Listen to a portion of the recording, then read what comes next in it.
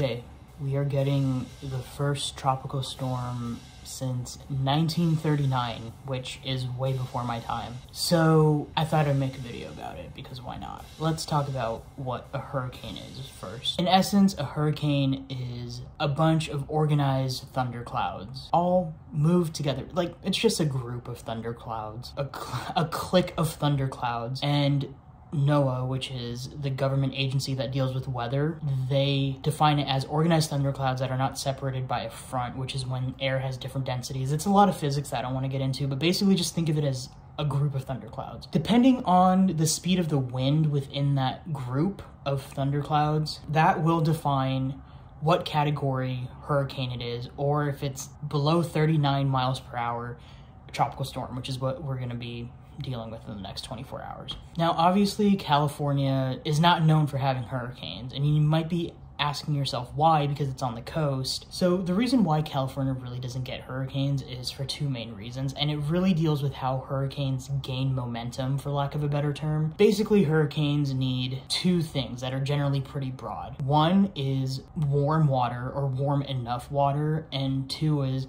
something I'm going to call non-destructive externalities. Now, that may seem really broad and like a really big word, but basically, the way that the winds blow in the Pacific don't really create an environment that's conducive for a hurricane because the warm water is needed because a hurricane takes up a bunch of vapor from that water that's being it's warm so obviously it's gonna give off vapor and the hurricane takes that vapor and like you know mixes it into itself and it becomes more powerful. We don't really have that in the Pacific because the Pacific is colder than the Atlantic and the Gulf of Mexico. So if you're so there are pieces right now about Hurricane Hilary that it that talks about oh well it's gonna slow down to category two because the water is really cold or colder in relation to the Atlantic. So it's I think it's in the high 60s right now, but it it's it's slowing down because the water is colder and there's not a lot of like energy there's not enough energy for the hurricane to keep going, basically. So that's the warm water. The other thing is the winds in the Pacific Ocean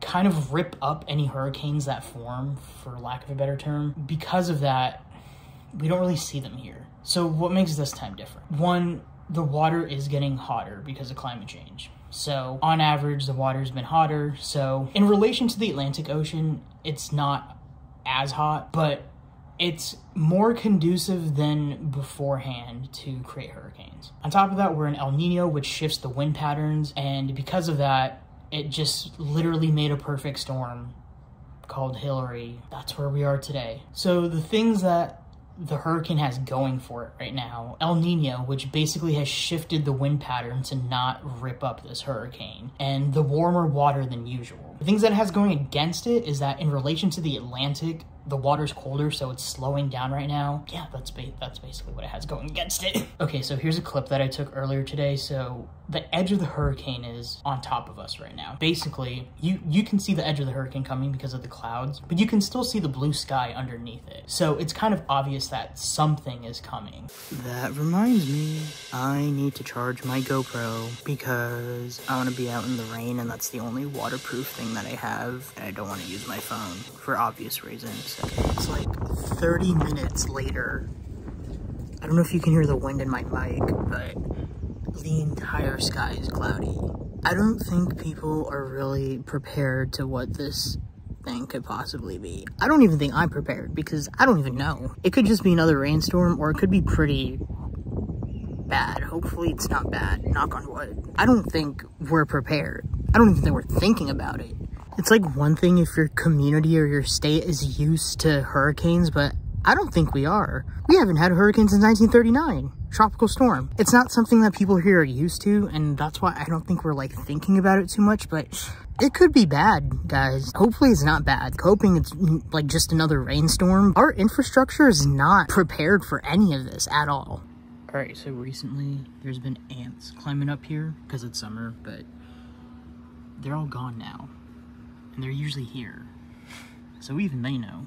So it's like 30 minutes after I recorded that ant video and you can smell the rain coming in. I've never experienced this before. Usually when it rains, you can smell the rain. You can smell it even before the rain is here. I had no idea that was a thing. Okay, so Gavin Newsom just declared a state of emergency because of what's happening, and he's basically deploying 350 National Guard troops just to, you know, in case things get bad, just have them on call, basically. But that was part one. Tomorrow, it's gonna pour.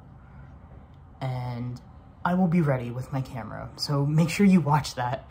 It'll be linked up here or up here, and definitely in the description and comments when it's uploaded. I will try and edit and upload that as quickly as possible. So make sure to stick around, and if you like this video, watch another video. Make sure to watch, like, and subscribe, and see you guys tomorrow in a hurricane. All right, bye-bye. Okay. My bathroom's open. There's like a truck. I don't know if you guys can hear that.